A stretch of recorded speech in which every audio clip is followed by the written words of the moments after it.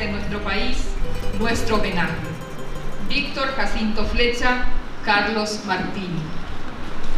Magma cuña caraíja, caraifuera, ore moiruga copujarepe, shemaitei jorubeba peme guara, tapejasa por ainte Con alto honor les doy la más cordial bienvenida al acto de presentación del libro titulado A 30 años del golpe, autoritarismo y democracia en el Paraguay.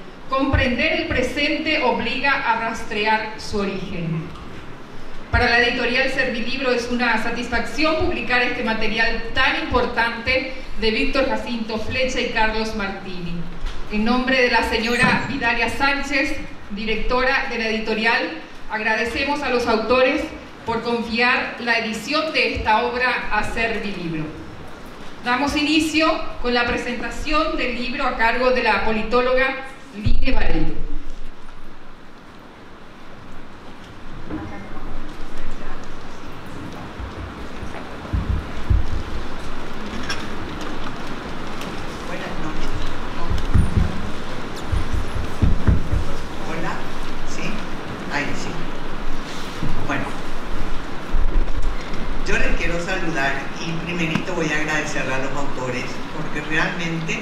son mis amigos, por eso me invitaron, pero para mí es un honor hacer la presentación y hacer el prólogo de este libro.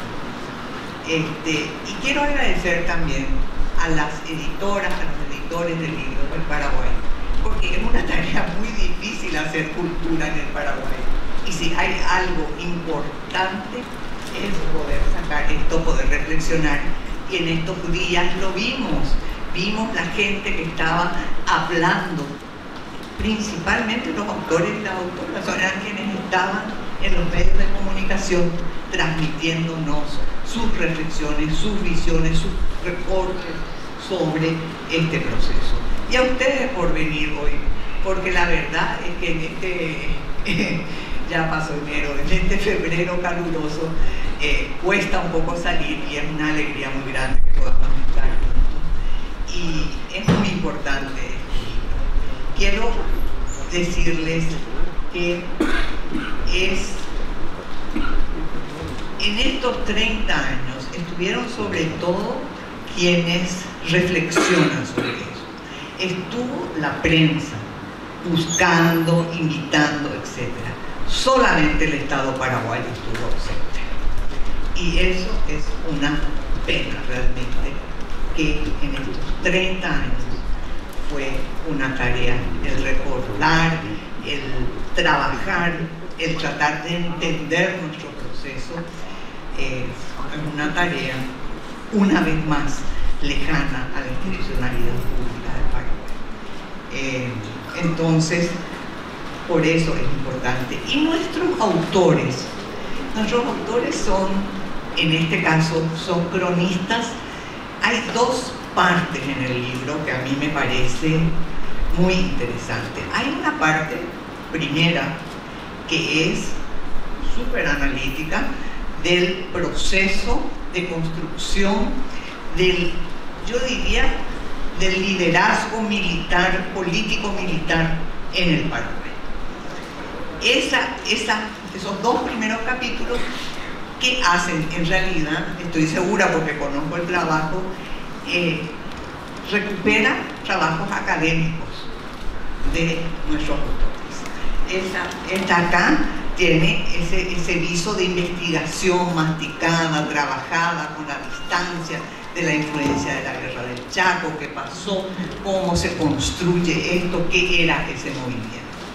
Claro, a mí qué me pasaba sobre ese periodo me iba haciendo notas al margen, como antes se hacían los libros. Yo digo porque los libros de mi papá que él leía, este, yo conocí su pensamiento por sus notas al margen en los libros que él leía. Entonces, allí iba yo pensando, bueno, ellos dicen que fueron principalmente campesinos, estos militares de reserva, y yo decía, pero también eran los estudiantes eran los estudiantes, o sea, ese colegio nacional que formó a tanta gente, etc.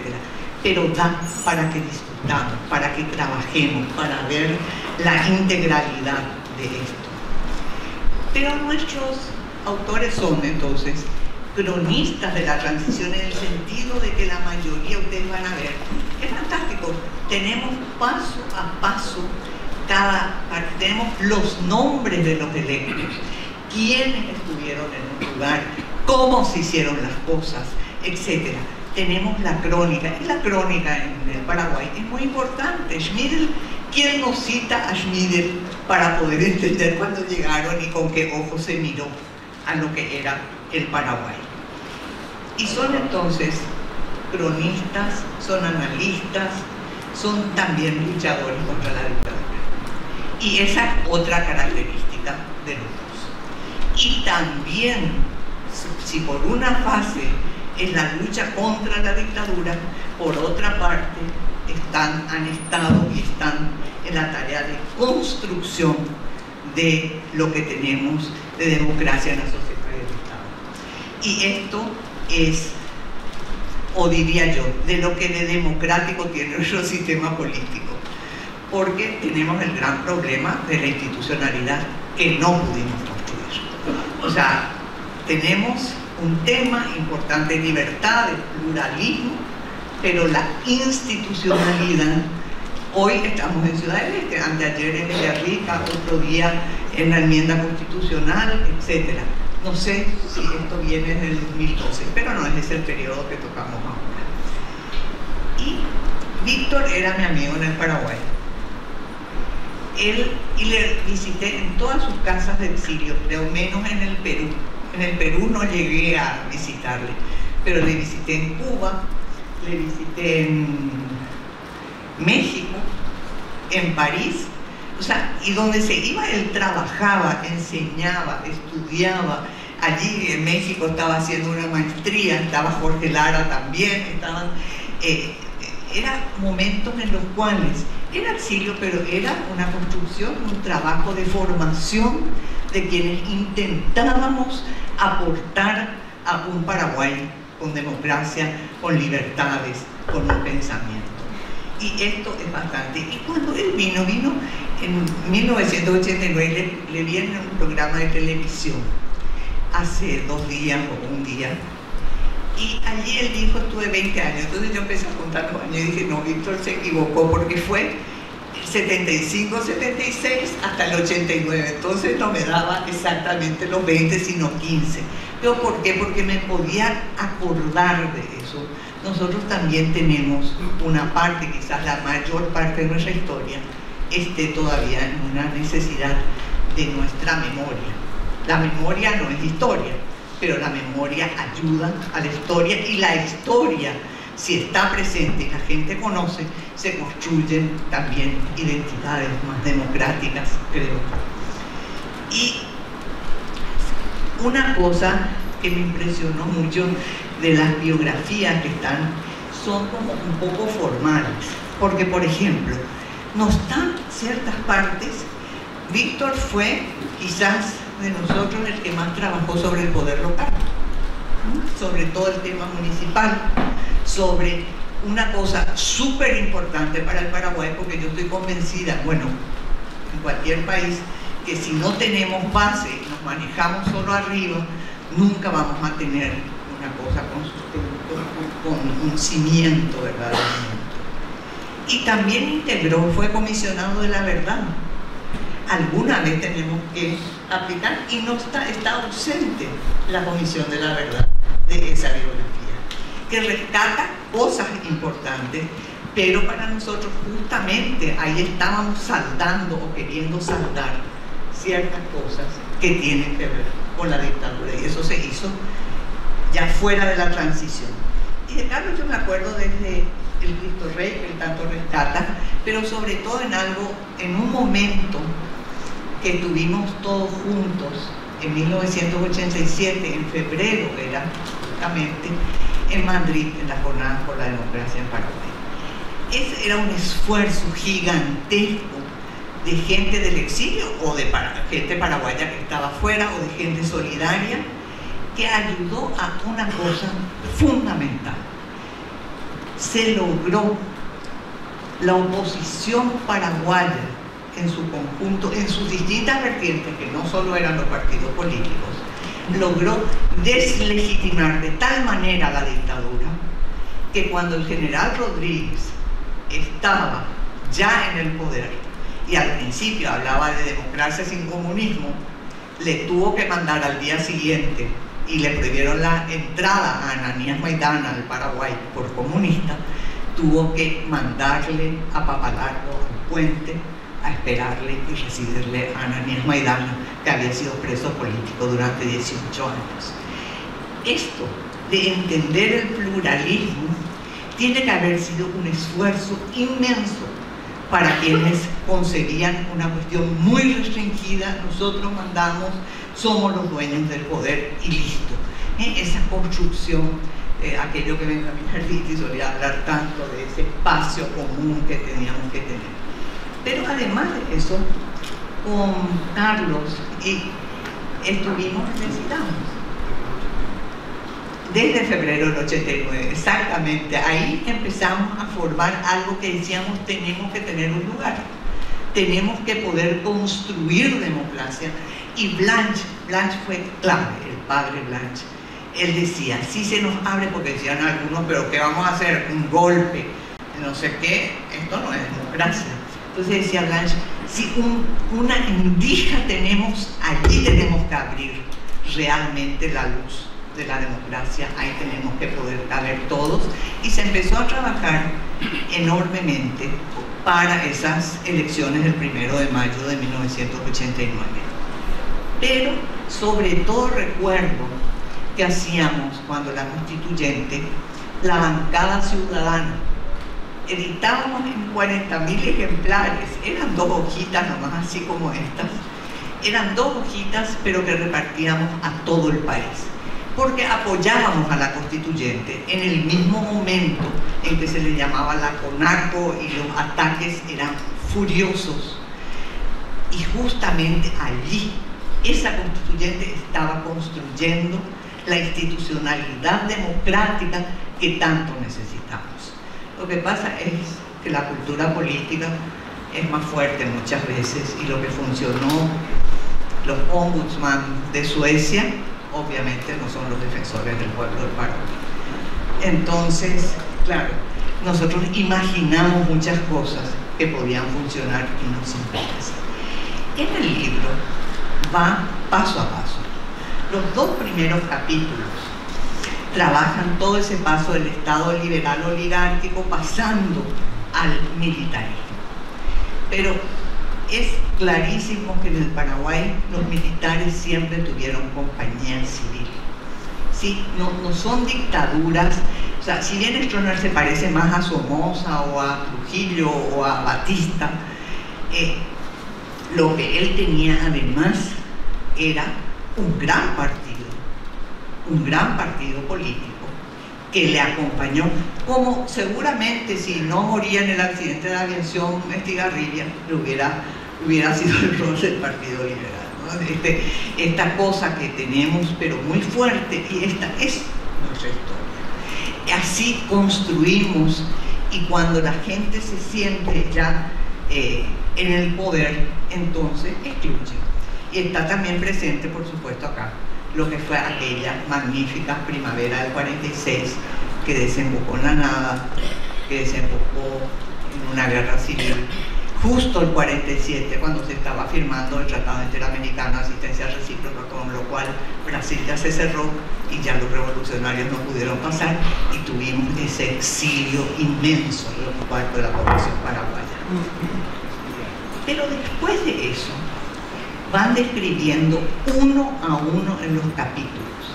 Hemos salido de nuestros cuarteles, Si todos le escuchamos al general Rodríguez cuando estaba diciendo esa noche que sabíamos todos que había algo muy importante que se estaba moviendo, pero no quién contra quién y cómo se estaba, y menos aún que eso significaba la caída del dictador esa parte concreta, se sabía que estaban las tensiones, se sabía el cierre de las casas de cambio, se sabían muchas cosas que están totalmente registradas acá. Pero al día siguiente el tema era cómo hacemos un sistema distinto. yo tengo que reconocer que fue el día más feliz de mi vida. Francamente, ese 3 de febrero de 1989 fue una maravilla. Me acuerdo que me encontré a la mamá de, de, unos amigos y le dije, señor, usted se va a su casa. Me dijo, hoy no me saca nadie de la calle, mi hija. Ese, ese día fue grandioso, era la libertad, era algo, algo más. Yo no sé cómo se habrán sentido quienes antes tenían una conducta y después tenían que escuchar, después tenían que escuchar, tenían que oír, tenían que tragar y tenían que aprender. Por eso también Decidamos llegamos a firmar, yo me acuerdo que firmé un convenio con Argaña para dar cursos de cuestiones electorales en el partido. Entonces, porque habían cuatro politólogos en el Paraguay o algo así, máximo. Y los periódicos estaban dispuestos y se hacían convenios y sacábamos qué es democracia y qué son elecciones competitivas, etc. Y acá después dice una convención pactada. Efectivamente ahí se pacta. Pero tienen que les diga una cosa. El hecho de que la justicia no formó parte del pacto de la transición verdaderamente, el pacto tácito, no fue la Moncloa, fue un pacto tácito, pero este pedazo no entró. Y este asunto de reconfirmar cada cinco años a los jueces, a los magistrados de la Corte, continuar esa historia antigua del Paraguay de sometimiento del Poder Judicial al, al poder político, eso hace que se continúe, ese elemento dio continuidad a ese elemento de sometimiento del Poder Judicial. Y resulta que no vamos a tener Estado de Derecho si no tenemos Poder Justicia en serio. O sea, la debilidad institucional es enorme. Pero sin justicia no vamos a tener porque ahí se cierra el ciclo y allí terminan las cosas y resulta que terminan mal. Entonces, ¿cómo se hace? Y esto, esto lo podemos ver. Y después nos va mostrando cómo este, van los cambios, el voto directo, pero no era voto directo nomás, fue la reforma. ¿Saben cuál es, y hoy es especialmente importante decirlo, cuál fue la ley 1 del 89? La 1 fue la firma del Pacto. Hoy, en este día más importante que nunca, el esfuerzo que se hizo en la transición para ser parte de la comunidad de derechos humanos. Nosotros que éramos un Estado no paria, porque nunca ningún país rompió relaciones con nuestro país, ¿eh? con el Paraguay de esta Tuvo la habilidad de mantenerse tranquilo, quieto, y, y la gente, yo recuerdo cuando se fue a Alemania una vez, en el mismo momento se fueron Brandt y Heinemann, el uno presidente y el otro primer ministro porque no querían recibirle, pero por otra parte pues se fue a Baviera nomás. Pero por otra parte tenían que hacer algo que les salvara. Es decir, e, esa dictadura tuvo sus características muy especiales. Nunca ningún país llegó a romper. Hacían cosas, Alfonsín no quería armar Mercosur todavía, ¿verdad? Entonces no, no invitarle directamente, se hace la asunción después del pozo. Y acá nace la municipalidad. Nacen las municipalidades con las elecciones de 1991. Y en esas elecciones de 1991 hay un rol de la sociedad civil que fue importantísimo. Resulta que SACA hace cómputo paralelo. Y allí General Rodríguez reconoce el resultado electoral de Asunción sobre todo en base a los resultados de SACA. Y eso fue una verdadera proeza, es decir, teníamos una sociedad civil vigilante y aportante que construía también. Me temo que eso, si bien el libro ya no trata lo posterior, que fuimos perdiendo también esa fuerza desde abajo. Y después la constituyente. La constituyente fue una maravilla, verdaderamente fue muy atacada y sin embargo, si hay algo que sentó bases institucionales, creo que fuera de lo del, Poder Judicial, eh, es es esa constituyente magnífica. Y bueno, lo que pasa es que nos traen todo.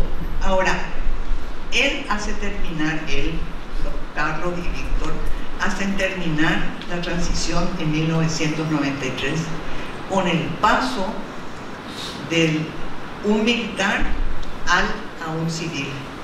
¿sí?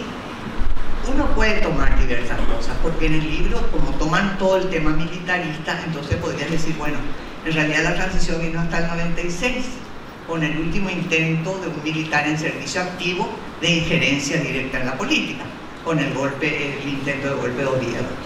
O quizás sea recién el 2008, con la alternancia en el poder.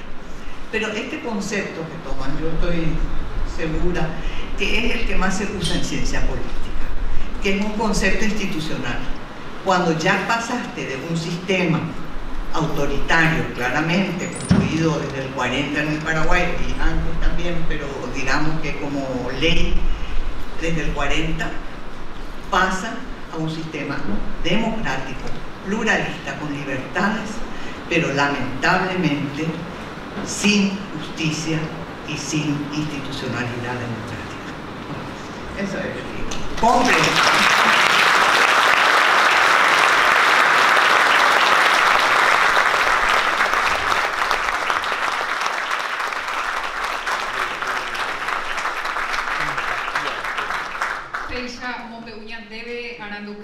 Huacuñacaraí y Catupurieteba, Line Vareiro. Destacamos y agradecemos la presencia en este acto de autoridades nacionales, miembros del cuerpo diplomático, intelectuales e invitadas, invitados especiales.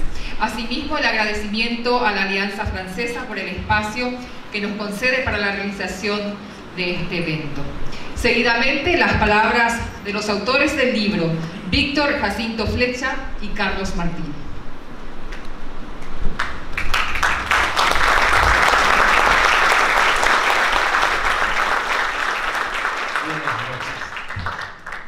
Antes que nada, mi agradecimiento a todos ustedes, mis amigos, héroes de la lucha contra la dictadura que están aquí, eh, esto, eh, esto realmente es una fiesta de la libertad, ya que el, gobierno no ha hecho ninguna conmemoración.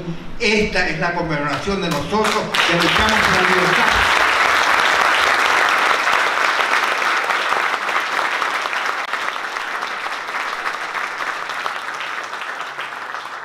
Así que les, agradecemos profundamente su presencia estamos como, como siempre estuvimos mano a mano combatiendo, así recordamos ese día glorioso que, que, vino la libertad en este país. Yo estaba en el exilio, recuerdo era las 2 de la mañana, suena mi teléfono, que siempre tenía al lado de mi cama por cualquier eventualidad, estaba en ese, en ese exilio, que realmente fue 20, 15 de, de, después de 70 y tanto, pero antes yo estuve en Buenos Aires. Estuve en Buenos Aires, digo. Bueno, pero realmente eh, esa, ese momento suena el teléfono, una, una voz, voz paraguaya que me dice, llámame, porque yo tenía una comunicación directa de París a los teléfonos de Asunción, pero vos tenías que pasar por, por Antel con esa época para comunicarte con el exterior, y ahí te controlaban, te grababan. Entonces yo pude llamar y me dice, eh, ¿qué es lo que hay? Y yo, ¿cómo que lo que hay? Y me dice, parece que hay tanques. Es la, la, la, parece que hay, tanques. Tampoco la persona que me llamaba sabía qué pasaba, pero realmente eh, vio movimientos de tanques, porque comenzó a las 9 de la noche más o menos movilizarse los tanques. Ahí, bueno, fue la primera información que tuve. Llamé en ese momento, tenía un teléfono yo a la Cancillería francesa, bueno, averiguando si, si realmente qué información tenían de Paraguay, tampoco no tenía ninguna información todavía hasta ese momento. Después de eso, bueno, cuando se fue confirmando, inclusive yo llegué a escuchar eh, Radio Primero de Marzo, digamos, ya con la cuestión de, del discurso de Rodríguez y todo ese tipo de cosas, yo creo que eh, esa noche yo gasté todo lo que no tenía, llamando por teléfono a todos los compañeros del exilio, ya sea en Suecia, en Buenos Aires, en Brasil, en España, donde sea, en los Estados Unidos, donde sea, yo llamando, y, fue una, realmente una alegría tan inmensa entre todos nosotros que llegó la libertad, digamos. Y después realmente ya nos informamos, en esa época tampoco no, no, existía todavía toda esta tecnología que teníamos, podíamos informarnos, solo era el teléfono, digamos fax por allí, digamos que, pero realmente fue tan emocionante, tan increíble, nos devolvió y nos devolvió la alegría realmente. Y como dice Line, yo creo que fue el día más feliz de mi vida, realmente. Eso hizo que también yo recuperara este país, volviera a este país y trabajara por este país trabajara por esta democracia. Todavía sigo trabajando y soñando que alguna vez vamos a lograr nosotros los paraguayos a tener un Estado de Derecho y una verdadera democracia con justicia social, porque son los dos grandes elementos, la, justicia social y la, justicia, la justicia en general, y sobre todo la cuestión social son las dos cosas que realmente en todo este proceso fue muy, fuimos muy conservadores, el Estado fue muy conservador con todas esas reivindicaciones sociales y sobre todo la justicia, hay un vacío total. Le voy a pasar a mi amigo Carlos, yo le vuelvo a agradecer y le agradezco antes de terminar, quiero agradecerle a Vidalia Sánchez, que realmente nos ha publicado el Servilibro, así que estamos orgullosos de que ella sea nuestra editora. Muchísimas gracias.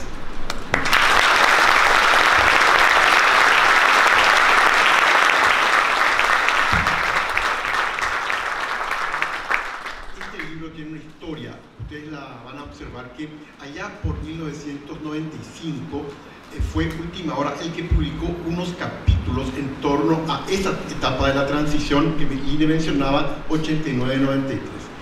Pero solamente quisiera agregar algo a estas emotivas palabras de Line y de Víctor. En un momento Line se acordó, ¿te acordaste del padre José María Blanch? Inolvidable para todos nosotros cuando dijo, si se abre una rendija, ¿por qué nos vamos a quedar afuera? Ese debate se dio en los diferentes partidos políticos y yo que en aquel entonces formaba parte del PRF, recuerdo que algunos compañeros decían, vas a apoyar a un golpista participando en las elecciones del 1 de mayo. Y otros decíamos, pero se abrió una rendija, hay que entrar para que luego se vaya abriendo más algo. El camino difícil, como decía Víctor, queda esta tremenda deuda de la justicia social y por supuesto del Poder Judicial. A veces con esto quiero terminar, uno se siente como Sísifo. ¿Se acuerdan de aquel hombre en la mitología griega al cual los dioses le condenaron a subir una, una piedra encima de la muralla? Volvía a caerse la piedra de la montaña, él tenía que subir. Es el símbolo del esfuerzo tremendo y desgastante. A veces uno se siente Sísifo, pero mi pregunta es, si no, no, si no somos Sísifo, jamás vamos a conquistar un Estado de Derecho en Paraguay. Muchas gracias.